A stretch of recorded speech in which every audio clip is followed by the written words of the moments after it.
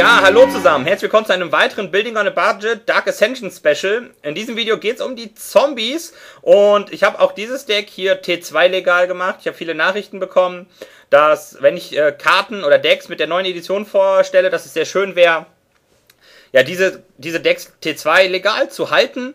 Und das habe ich geschafft und es ist ein sehr schönes Deck dabei rausgekommen. Ähm, ich habe ein ähnliches Deck auf der Pro Tour gesehen und ähm, das wurde dort gespielt und ich habe es ein bisschen abgewandelt für euch und ein bisschen preiswerter gemacht. Mm, ja, es passt auch sehr schön, dass ich jetzt diesen Decktyp vorstellen kann, weil wir haben ja schon einen Zombie-Primer und dann kann ich hier so ein bisschen mit den Karten abweichen, was halt ganz schön ist. Und ja, ich zeige euch erstmal die Deckliste. Die Kosten liegen circa bei 45 bis 65 Euro, also mm, manchmal mm, ein Tick höher als die sonstigen Decks, aber es ist auch wirklich stark, muss ich sagen. Und ich spiele das Deck auch selber und ich kann nur sagen, es macht Spaß zu spielen. Es ist nicht so, so stupide, es ist auf jeden Fall ein schönes Deck. Und ja, die teuren Karten habe ich euch hier mal markiert. Gravecrawler ist halt etwas teurer, aber wenn man T2 spielen will, muss man Gravecrawler spielen. Festring Goblin wäre die Alternative. Was die Karten können, zeige ich euch gleich. Und Gareth's Messenger, Messenger ist auch ein bisschen teurer, aber der lässt sich eher schwer austauschen. Also wenn ihr mit dem Deck anfangen wollt, würde ich erst mir die Gareth's Messenger und die Festring Goblins holen und dann eventuell, wenn euch das Deck dann wirklich super gefällt, dann erst die Gravecrawler besorgen. Und ähm, ja, ähm, wie funktioniert das Deck überhaupt? Ähm, man fängt an mit aggressiven Zombies, Gravecrawler für einen Mana eine 2-1er-Kreatur und dass er nicht blocken kann, ist nicht so schlimm, weil wir eigentlich eher ja, die aggressive Rolle im Spiel einnehmen möchten und sein super starker Effekt ist halt, solange wir noch einen Zombie kontrollieren, kann man ihn aus dem Friedhof wieder ins Spiel bringen, also für einen Mana. Ihr seht, er kommt immer wieder und das ist das, was ihn halt einfach so stark macht. Die Alternative, die ich euch vorschlagen würde, wäre Festring Goblin wenn er stirbt, hat er einen netten Effekt und es ist hier relativ wichtig, dass hier Kreaturen sterben, weil wir hier so ein bisschen mit dem Morbide-Effekt arbeiten und ähm, Festring Goblin wäre halt die 10 Cent Alternative zum Gravecrawler, der im Playset leider 20 Euro im Moment kostet, weil er halt turnierrelevant ist. Ähm, ja, die zweite Kreatur im 1-Mana-Slot wären 4 Diagraph Ghouls. Er ist sehr preiswert zu besorgen, für 1 Mana ein 2-2er Zombie-Beater. Ähm, jetzt springe ich ein bisschen in der Liste, weil ich euch die Strategie dann besser erklären kann. Wir haben noch viermal Garaths Messenger für drei Mana ein 3-2er-Zombie, der getappt ins Spiel kommt. Und jedes Mal, wenn er ins Spiel kommt, verliert ein Gegner zwei Leben. Und seine Undying-Fähigkeit lässt ihn ja, wenn er stirbt, noch einmal mit einer 1-1-Marke wiederkommen. Er kommt dann zwar wieder getappt ins Spiel, aber der Gegner verliert erneut zwei Leben. Und danach kann er als 4-3er-Kreatur noch angreifen, also sehr stark. Dann habe ich viermal den Diagraph Captain. Ist halt nett, da viele Zombies bei uns sterben, ist dieser ein Lebens-, äh, ein Life-Loss-Effekt halt ganz nett.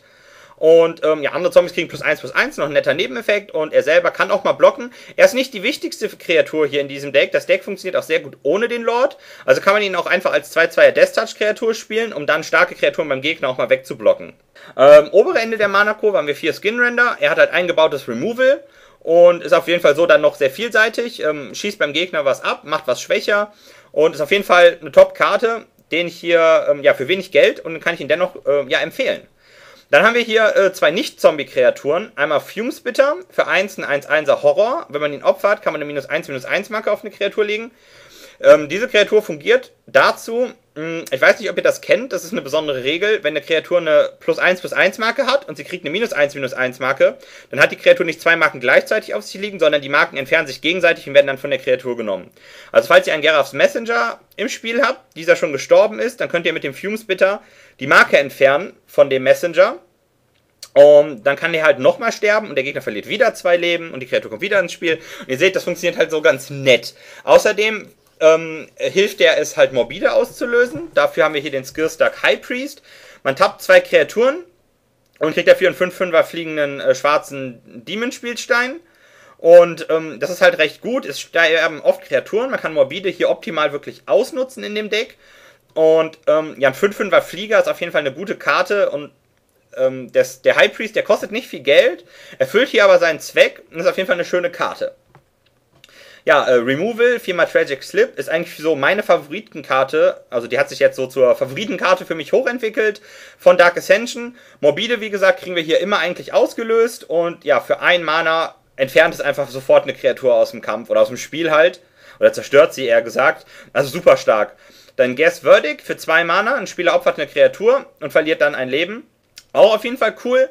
Ähm, besonders wenn man, ich spiele zum Beispiel oft, dass Gegner so Ram spielen, haben oft Titanen im Spiel, Primeval Titan oder Inferno Titan, sowas in der Art und haben dann eher keine anderen Kreaturen auf dem Feld und das Guess äh, Verdict trifft dann auch einfach mal eine starke Kreatur. Wir können uns das ja selber nicht aussuchen, was der Gegner opfert, aber wenn er eben nur eine Kreatur hat, muss er ja diese opfern. Und dieser stetige ähm, ja, Verlust von Leben unterstützt das Ganze hier auch nochmal ein bisschen. Dann haben wir hier noch drei Mortarpots. Das ist noch eine nette Methode, um äh, erstmal Morbide auszulösen. Man kann auch Gerafs Messenger damit ausrüsten, um ihn dann einfach für einen Schaden zu verschießen. Der kommt dann durch Undying wieder ins Spiel. Gegner verliert wieder zwei Leben. Ihr seht, das ist eine ganz runde Sache. Macht auf jeden Fall super Spaß zu spielen. Ähm, zur Mana Base, zwei Evolving Wilds. Ja, dann kommen halt nur noch Standardländer. Wir haben hier sechs Inseln und äh, 16 Sümpfe, also das Ganze wird ganz preiswert aufgefüllt mit Standardländern. Man braucht hier jetzt auch nicht unbedingt irgendwelche ähm, teuren Doppelländer, das lässt sich so ganz hervorragend spielen. Und ganz am Ende wollte ich euch noch eine Alternative anbieten zum Fumespitter. Ist zwar auch kein Zombie, ist der Hex Parasite für ein Mana 1-1 ein Insekt. Man kann entweder ein Mana oder zwei Leben bezahlen und dann X und dann x Marken von einem Permanent entfernen und er selber wird dann für jede entfernte Marke plus, kriegt er plus 1 plus 0 bis zum Ende des Zuges. Ist natürlich ähm, die Idee, man kann von Geralt's Messenger für zwei Mana die Marke entfernen. Ähm, Vorteil ist, man kann auch beim gegnerischen Planeswalker Marken entfernen, also Loyalitätsmarken frisst der Parasit ja auch. Das Ganze ist ziemlich mana-intensiv und das Deck braucht das Mana eigentlich, um seine ganzen Tricks so zu machen. Ich teste das jetzt gerade selber und muss mal schauen, wie das funktioniert. Und ihr habt natürlich auch die Wahl, wenn ihr beide Karten habt, das einfach auszutesten. Und ja, das war's schon für das T2 legale Zombie-Deck. Ich hoffe, das Deck hat euch gefallen. Und ja, lasst mir Kommentare da. Wenn ihr Lust habt, besucht mich auf Facebook. Den Link dazu findet ihr auf der Kanalübersicht. Ansonsten wünsche ich euch noch ein schönes Wochenende. Bis demnächst. Ciao.